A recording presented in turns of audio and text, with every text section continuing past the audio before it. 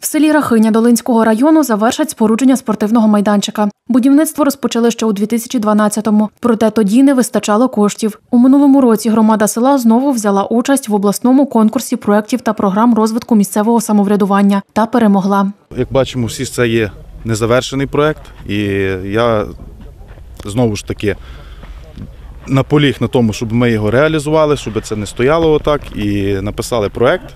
Дякуючи комісії, ми його виграли.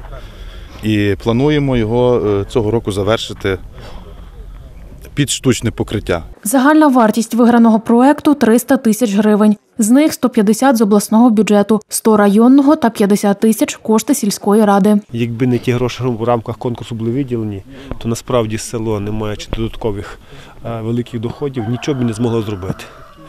А так і поремонтовані приміщення, і, і облагороджені якісь потічки, там, і, і спортивні майданчики, і все решта. Вже цього року на цій ділянці поруч зі школою з'явиться спортивний майданчик. За словами сільського голови, важливість цієї події важко переоцінити, оскільки в школі немає спортивного залу. Мар'яна Басалига, Ігор Струк, ТРК Карпати.